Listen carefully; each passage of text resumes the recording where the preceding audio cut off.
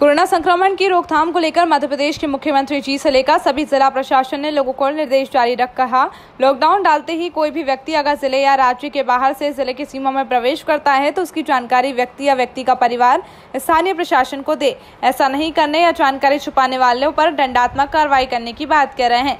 लेकिन कुछ लोग समाज सेवा के आदेशों की धज्जियाँ उड़ा रहे हैं। मामला मेघनगर का है, जहाँ समाज सेवी द्वारा लॉकडाउन में भी मध्य प्रदेश की सीमा पार कर राजस्थान के बांसवाड़ा से समाज सेवी अपने परिवार की बहू ले आए। मामला वहीं तक सीमित नहीं रहा। समाज सेवी ने अपनी बहू को राजस्थान से घर लाने के बाद भी शासन प्रशासन को अवगत कराना ज़रूरी नहीं समझा। राजस्थान से आई बहू को जब लोगों ने घूमते देखा तो उनके पैरों तले ज़मीन खिसक गई।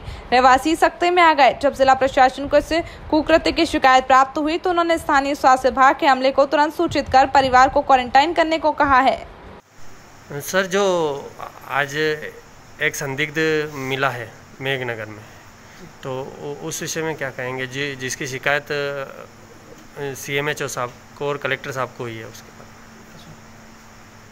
नहीं एक्चुअली हमारे पास इन्फॉर्मेशन आई थी C M H O office से कि मिस्टर देवेंद्र करके हैं। वो कहीं राजस्थान से आए हैं उनके वाइफ को लेके कुछ चार पाँच दिन पहले।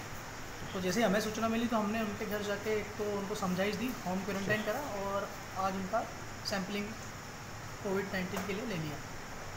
чуть-чуть.